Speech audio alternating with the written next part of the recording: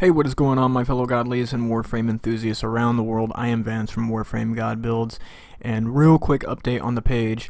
It is Saturday, November 12th, so later today at 6 p.m. New York time, I will be live streaming the War Within quest line for everybody to see, you know, my live reactions and whatnot.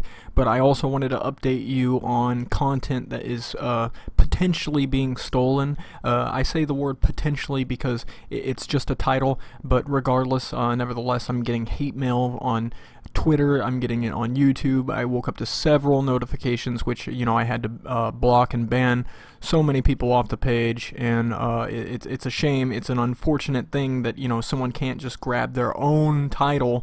Um, but I would suggest that uh, if you if you're not appreciative of this content being you know just just the title being ripped off like I am, I would encourage that you you know just don't even uh, don't even view his videos. You know, go go to the page uh, block it. And, but this, I'm not telling you what to do here. If if you're offended as as much as I am, I've already taken the legal precautions. I've uh, submitted all these different uh, reports to YouTube, so it's really up to them now what they do about it. But uh, it, it's just a title. It, it's something as simple as a name change.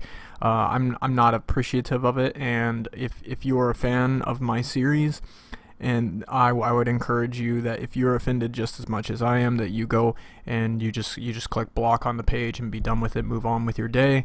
We're gonna keep on trucking on. We're not gonna let this get us down. This is this is really petty and uh, completely underneath us. But I wanted to update you guys really quickly just because uh, I know that all of you are just really excited about the War Within content. You're probably um, wondering what I will think of it, so you'll be able to check that out later on today.